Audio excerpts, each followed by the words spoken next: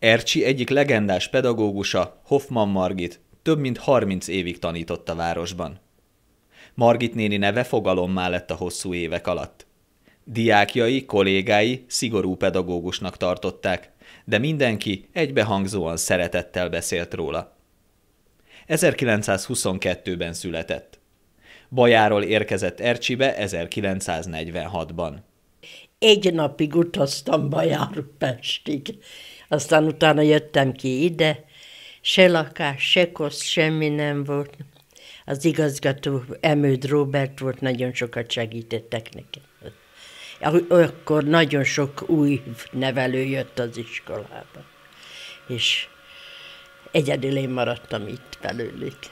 És mire emlékszik a legszívesebben az eltelt időből? Amikor tanítani tudtam. Hát akkor még egészséges voltam, és nagyon szerettem tanítani. Nagyon szerettem.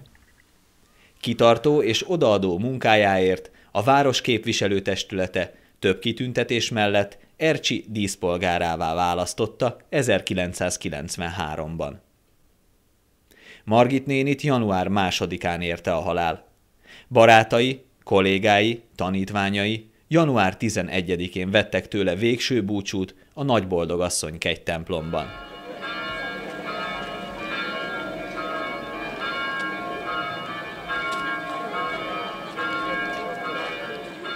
Talán egyet mondanék még a fiataloknak, amit megkövetelek a gyerektől, azt nekem is meg kell csinálni. Akkor talán rend van.